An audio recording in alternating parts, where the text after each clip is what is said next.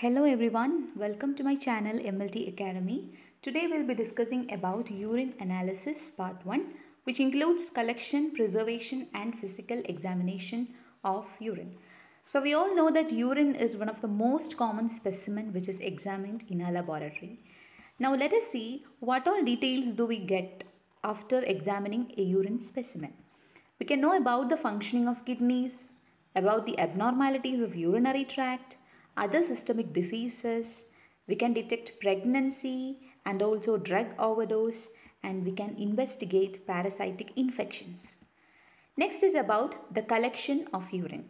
So depending upon how the urine is collected, we can divide the specimen into different types. First one is the early morning specimen, which is obtained during the first urination of the day. So that is the urine which is voided when the patient first arises from his night sleep. So this will be the most concentrated specimen and it will have the lowest pH. And this specimen is used for the examination of nitrite, protein, formed elements and also for microscopic examination. Second one is the random specimen which is obtained at any time and for routine urine examination this type of urine specimen is usually adequate. Third one is the postprandial specimen which is obtained 2 hours after meal and this is used for glucose estimation uh, for example in case of glucose tolerance test and glucose challenge test etc. Fourth one is the 24 hour specimen which is which is a specimen obtained within 24 hours. And how will you collect a 24 hour specimen? The early morning specimen or the early morning urine is discarded and all the urine voided in the next 24 hours including the early morning of early morning specimen the next day is taken. So this is the 24 hour urine specimen.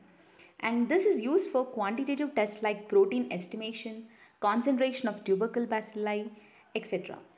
And for taking this type of specimen, you have to obtain large containers which is sufficient to hold 2 liters of urine. And fifth one is a clean catch midstream urine specimen. And this is basically used for bacteriological examination. And since it is a clean catch specimen, before collecting the specimen, you have to clean the external genital area with mild soap and water. And the urine, the first part of the urine is usually discarded because it may be contaminated with the normal flora and the middle part of the urine is taken in sterile collection bottles and it is then used for bacteriological examination. Next, we'll see about the preservation of urine. Generally, the urine is examined within 1 to 2 hours of collection. And if there is a delay, you have to preserve the urine. So what happens when the urine is allowed to stand for long hours without any preservative?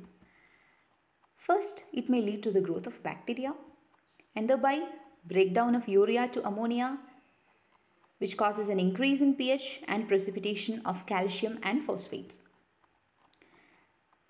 It, it also lead to oxidation of urobilinogen to urobilin, destruction of glucose by bacteria and also the lysis of RBC, WBC and cast. Nextly, let us see about urinary preservatives. First one is toluene. Toluene is the best all-round preservative and it forms a thin layer on the surface of urine and the major disadvantage is that it interferes with the sulfosalicylic acid method of protein estimation. Second one is boric acid. So the quantity is 5 gram per 4 O's, 4 ounces or 120 ml of urine. Concentrated hydrochloric acid. You have to take 10 ml per 24 hour specimen and it is the best preservative for all chemical examination including calcium, uric acid, creatinine and urea.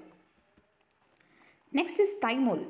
So you have to add 1 crystal of thymol of 5 mm diameter per 100 ml of urine. But it interferes with sugar, acetone and diacetic acid examination. Next is formalin. You have to add 1 drop per 30 ml of urine and it preserves the urine sediment but it interferes with the sugar test. Next is sodium carbonate which is usually used for the preservation of urobilinogen. So this is very important. Sodium carbonate is used for the preservation of urobilinogen and you have to add half teaspoon per urine sample. Chloroform usually preserves aldosterone levels and you should add 1 tablet per 60 ml of urine. Next is refrigeration. It is allowed only for up to 3 to 6 hours and if there is a delay of urine examination for more than 6 hours you have to add additional preservative. And the freezing is allowed only for specimen transport but the major disadvantage is that it may destroy the formed elements. So refrigeration and freezing is allowed only for special purposes and it is not used usually. Next is about the physical examination of urine. First one is volume. The normal urine volume, the normal range is 1200 to 2000 ml per day. And there are certain conditions in which the urine volume may be varied. First one is oliguria. Oliguria is a condition with decreased quantity of urine. Polyuria is a condition with increased quantity of urine. Anuria means total suppression of urine and nocturia means increased quantity of urine at night. Next is color. Normally the urine is having a straw to dark amber color and the pigments which are responsible for the urine color is urochrome which provides yellow color and is present in highest proportion, uroerythrin which gives red color and urobilin which gives orange yellow color. What is the clinical significance of variation in color of the urine? Clear red is seen in hemoglobinuria, cloudy red in hematuria, reddish brown due to the presence of porphyrins or urobilinogen, Brownish yellow or green is due to bile pigments. Milky urine is seen in chyluria, a condition of filariasis. And dark brown urine, which changes to black on standing, is usually seen in alkaptonuria. Next is odor. Normally, the urine is having a slight aromatic odor. Odor means smell. And on standing for long hours, it gives a pungent odor. Presence of ketone bodies may give sweet fruity odor. And in tyrosinuria it will have fishy or cabbage like or rancid butter smell. Cystinuria or homocystinuria, sulfurous odor, brewer's yeast odor in Oasthouse syndrome, burn sugar odor in maple syrup urine disease. And mousy odor in phenylketonuria and sweaty feet odor in isovaleric acidemia. So these are the important question in MCQs. So this is very important. Next is the appearance or transparency of urine. Normally, urine is clear and transparent. And the cloudiness of the urine can be due to normal or physiological condition and also due to pathological condition. So which is the physiological or normal condition in which the urine appears cloudy? If the urine is having a neutral or alkaline pH, the presence of amorphous phosphate may cause cloudiness, but it disappears on adding dilute acetic acid. And in case of acid urine, the presence of amorphous urates may cause cloudiness, but it is, disappears on heating. And cloudiness in pathological condition can be due to the presence of WBCs or pus cells, which is cleared by filtering, bacteria or fungi, which is cleared by centrifugation, colloidal due to the presence of fat or chyle. Next is about the reaction or pH. Normal range or the normal pH range of urine is 4.6 to 8. Commonly, it is having a slightly acidic pH of 6 and in people who follows a vegetarian diet, they will have a slightly alkaline pH and increased consumption of meat causes acidic pH and the most important point to note is that Formed elements are well preserved in acid urine and are disintegrated in alkaline urine. And the pH of urine is usually measured by using litmus paper, nitrazine paper, dipstick and also glass electrodes. Now let us move on to the specific gravity of urine. So what is specific gravity? It is the ratio of weight of fixed volume of solution to the same volume of water. And the specific gravity of urine sediment will give an indication of the total amount of solids in solution in that urine. And the normal specific gravity is 1.015 to 1.025 in a 24 hour specimen. And if this urine specific gravity is less than 1.007, the condition is called as hyposthenuria. And in case of renal disease, the urine specific gravity will be fixed at 1.010 and this condition is referred to as isosthenuria. And how will you determine urine specific gravity? By means of a urinometer, refractometer and also by reagent strip. Refractometer actually measures the refractive index of the urine and it requires only one or two drops of urine. So that is a basic advantage of this method. The most commonly used method for determining specific gravity of urine is a urinometer. So the urinometer will be having a measuring scale which is calibrated from 1.000 to 1.060 and each division equals 0.001. So this is basically the measurement of urine specific gravity by using urinometer.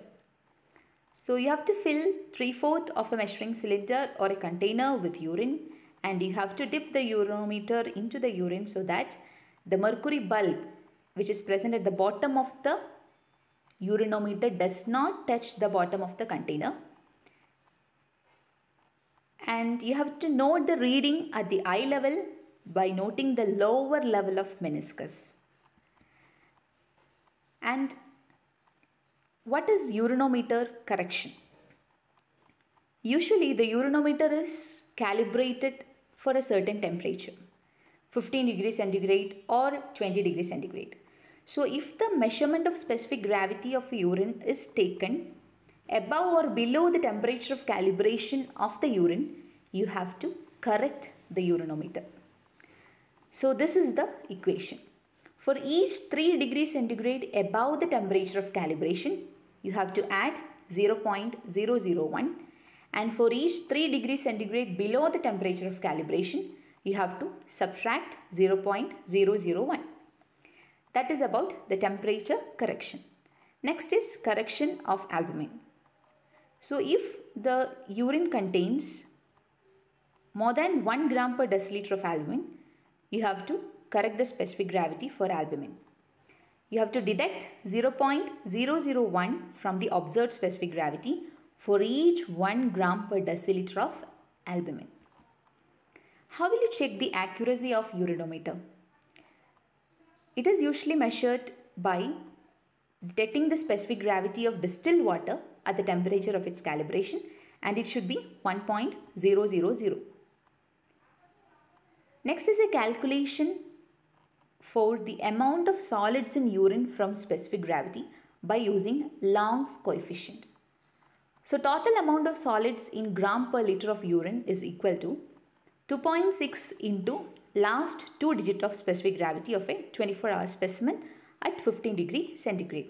For example, if the specific gravity of urine is 1.0 to 5 at 15 degree centigrade, the total amount of solids in urine is equal to 2.6 which is the Long's coefficient into the last two numbers of specific gravity which means 25. So 2.6 into 25 is equal to 65 grams per liter per day.